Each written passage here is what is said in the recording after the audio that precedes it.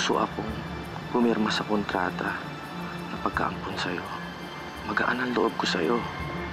Sa unang niyakap kita, tinuring na kitang isang tunay na anak. Langit at lupa na talaga tayo, no? Pa ba? Ako pa din to. Kung may linggong hindi ako makadalaw sa shelter, alam mo na yung bahay namin. Ikaw naman yung bumisita ha. Walang usap-usapan tungkol sa El Cielo. And remember, this is your first time in Manila. Kilala kita. Kasama na ba tayo dati?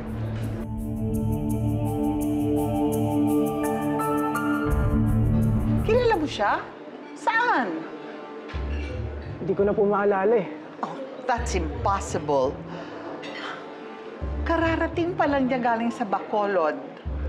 Doon lumaki si Marian. Actually, doon silang dalawa lumaki. Magkababata. Ba't mamer? Dito ko siya nakita eh. Impossible, I said. It is her first trip to Manila. No. Bro, baka sa panaginip mo lang siya sa Manila nakita.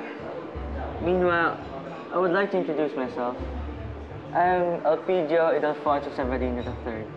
But you can call me Ellie. And you are... Angela. Uh, her name is Angela.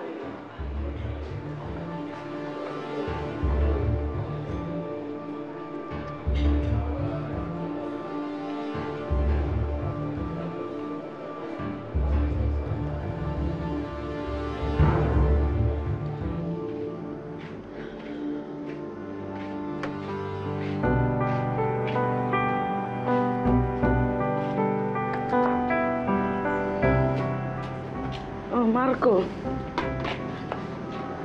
Parang ikaw ang namatayan ng ina. Hindi naman po, sister. Nakita ko po yung bagong bahay ni Angelina eh. Parang palasyo sa salaki. Oh, eh, ano naman ngayon? Eh ano pa ba? Ang layo ng agwat namin ni Angelina. Siya nasa palasyo, ako nasa kapilya. Alam mo, pwede pa naman magbago ang buhay mo eh. Hindi na, Ate Elaine eh. Hindi naman ako ampon, di ba? So alam ko naman paano tatakbo yung buhay ko eh. Parang sa magulang ko, mabuhay at mamatay akong mahirap. So, ang ibig mong sabihin eh, wala kang bilib sa sarili mo na magbago ka, ganon. Hindi naman po. Kaya ko naman po magbago. Hindi ko na makapantayan yung yaman pa ni Angelina. Alam mo, iho, minsan, ang pag-ibig ang gumagawa ng paraan. Hmm? Hmm. Galing ni sister. Excuse me.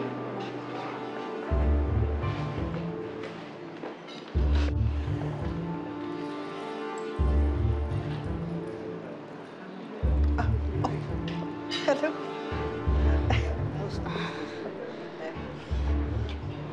Saan niya ako nakilala? Sa school. Siya yung kasama ko noong bumisita ka sa akin. Paano yan? Ay, huwag mo na lang siya pansinin. Basta huwag ka na lang lumapit sa kanya. Hindi, iba. Ano, anong iba? May sorpresa kasi ako eh. Sa'yo. Talaga? Ano yun? Basta, sa lunes mo na malalaman. Ngayon na. Sa lunes na. Ngayon na. Sa lunes na. Hindi, sa okay, fine.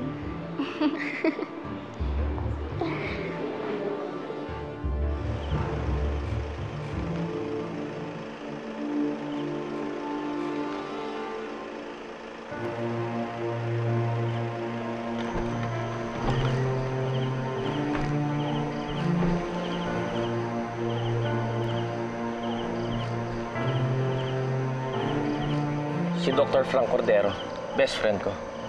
May request sana ako eh.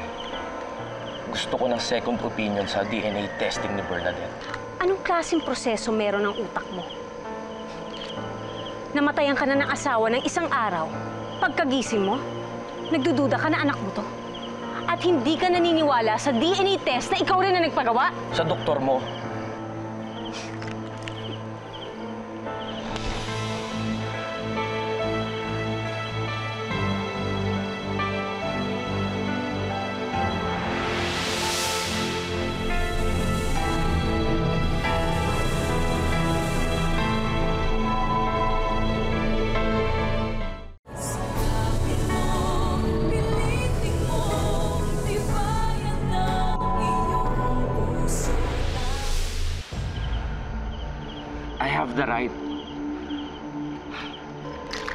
sige, ganito na lang. Kukunin ko ang number ng kaibigan mong doktor. At pagkatapos, ilalabas ko sa press ang lihim mo na hindi ka tunay na mapagmahal na asawa. Dahil wala kang anak. o sige, magpapa-DNA test uli ako. Pero hindi mo na makikita ang anak mo. Di mo magagawa yan. Tignan natin. Ikaw na rin na nagsabi, di ba? I have the right to.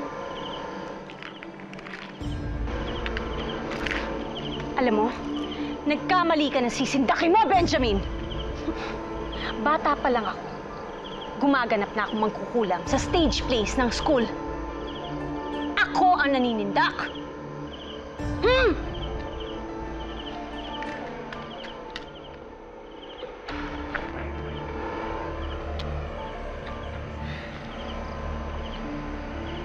At alam ni Marilyn to.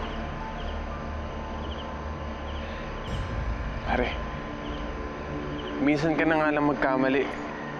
Tinodo-todo mo pa. Frank, tulong mo ang kailangan ko. Hindi ang sarcasm mo.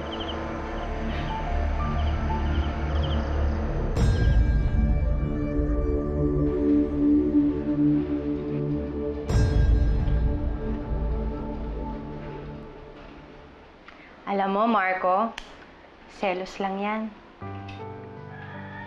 Oo naman. Marami na siya makikilala eh. Marami na rin akong makakalaban. Eh, hindi ka nga naniligaw sa kanya eh. Paano naman niya malalaman na may pagtingin ka sa kanya? Alam mo, kahit magpaligaw siya sa iba, okay lang. Kasi hindi ka nanliligaw. Eh, nararamdaman niyo na yun, no? Alam mo, kailangan rin minsan sabihin. Eh, paano pa? Eh, mayaman na siya. E di magsumikap ka. Ano ka ba? Alam mo, Ate Elaine, kahit magkaroon akong tatlong buhay para makapagtrabaho, hindi ko mapapatayan yung yaman ni Angelina eh.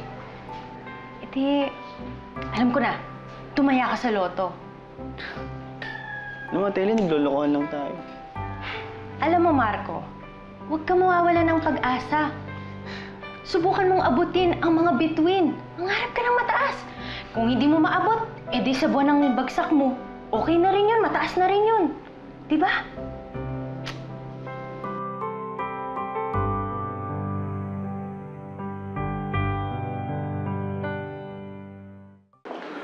I hope you enjoyed yourselves. Tay, Busog kayo. um, Thank you for coming. ayoko sanang isipin mo na makulit ako, pero nagkita na tayo, di ba? Ah, Hindi ko imagination yun, and hindi ko rin panaginip. Di ba?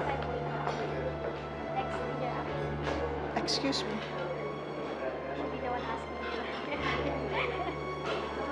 You don't believe me, James? Um, Mamer, I'm really sorry. Gusto ko lang po makasigurado. Tama ka. Panaginip mo lang lahat ng sinasabi mo. Hindi pa kita nakita sa tanang buhay ko.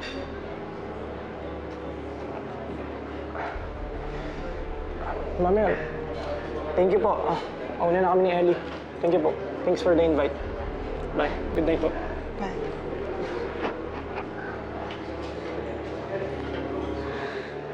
Okay, thanks for coming, ah. Thank you, Marian. Okay, Bye. Yan. Hope you guys enjoyed.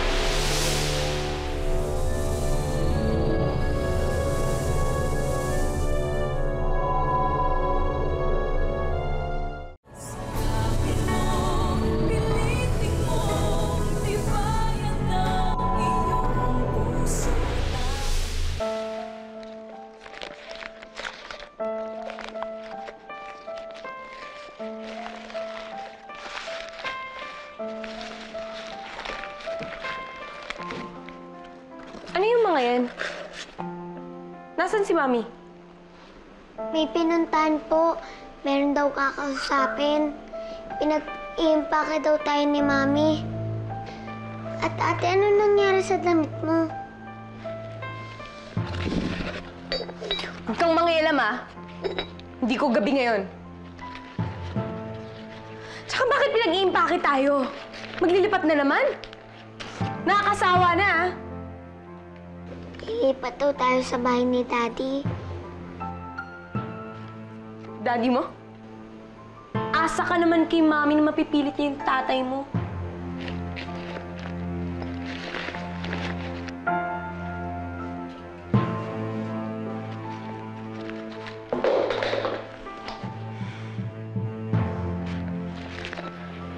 Bro, what were you thinking kanina? Pare, don't tell me, pati ikaw hindi ka naniniwala sa akin, ha? I don't know. Make me believe. Ako, honestly, nagagandahan din ako sa kanya. But I think, first time ko lang siya makita. Oo nga, ayun na nga eh. Pero yung unang pagkikita namin, parang ako at si Marian, di ko alam kung kailan o saan eh. James, aren't you too young para magka-memory gap? Yung ganda ni Angela, impossible na hindi mo matandaan. Basta pare, sinabi ko sa'yo, nagkita na kami. Okay, fine. I believe you na. Basta, I'll drive you home na. Sige, tara. Tara. na.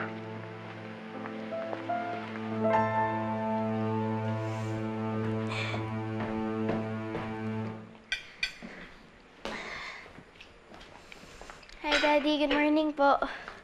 Good morning. Good morning. Good morning po. Oh, kumusta yung party? Ayos naman po. Eh, ikaw. Kumusta ka?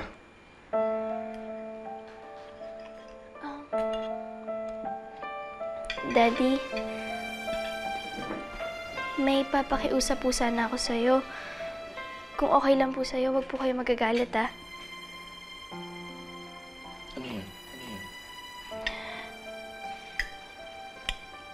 Okay lang po kaya if ilipat niyo na lang po ako ng school. Huwag niyo na lang po ako ipasok sa St. Isidore. Sige na, ayusin mo na yan doon para hindi nakakagulo dito.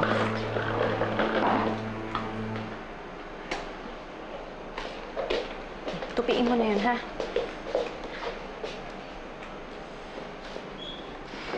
Umuwi ka raw na maaga kahapon, galing sa party, sabi ng kapatid mo. Was a disaster, ma. Leching Luis yun?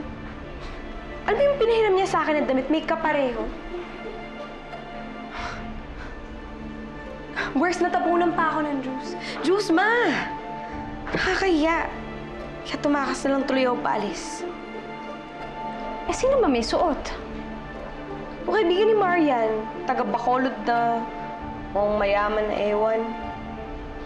Ay, naku, mabuti pa mag-impake na tayo. Saan naman tayo titira? Sa mas malaking bahay. Napapayag mo na ba yung tatay ni Bernie? Oh, well, hindi pa naman. Pero kilala mo naman ang mami mo, hindi ba?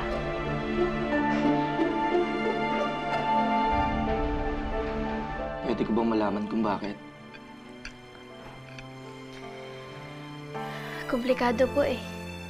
Pero nandun na lahat ng papers mo. And you're accepted. Hindi po ba pwedeng ilipat niyo po ako? Bakit? May kinakatakutan ka ba? Wala po. Di ba sinabi mo sa akin na nandun si Maria na kaibigan mo? Angelina, ayoko may tinatago ka sa akin. It's either alamin ko kung anong iniiwasan mo or ihahatid kita bukas para alamin ko kung anong kinakatakutan mo. Okay?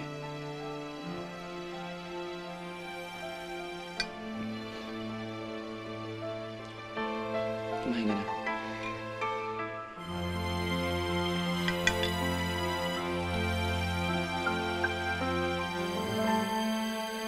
Um, Mamer, about last night, I just wanna say sorry. I'm really sorry. James, yan na naman ba? Alam mo, Ang dali-dali lang naman kasi sabihin kung may gusto ka sa kaibigan ko eh. Pero para mag-insist na nakita na kayo, cheap style, James. Cheap stuff.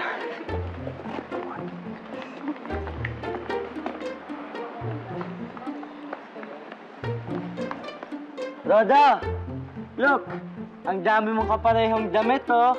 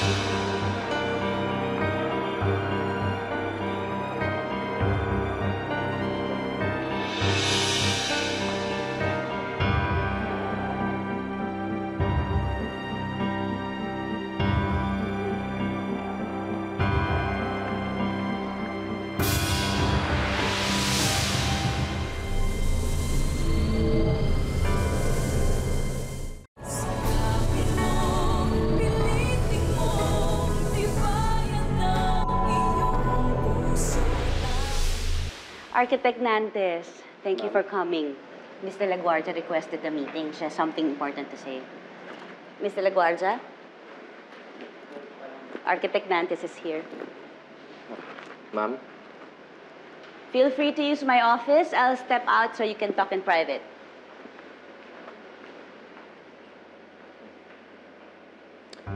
Ilipat mo ng eskwelahan niya ang ampong mong si Angelina. Sorry? You heard me. One more time. Ilipat mo sa ibang eskwelahan siya. Alisin mo siya dito sa St. Isidore. Mawalang galang na, Miss De La Guardia.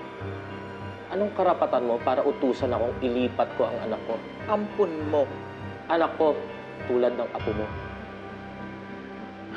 Bueno, sasabihin ko kay Principal Sandoval na hindi tanggapin na ang enrollment ni Angelina Nantes o aalisin ko ang aking apo na si Marian de la Guardia. Saan pupunta sila Sarina at nag iimpake sila mag-iina? Mapagtanto kaya ni James na si Angela at Angelina ay iisa? Ano ang kahihinatnan ng pagtatalo nila Mamera at Benji? Sundan sa lunes sa pagbabalik ng Cielo de Angelina.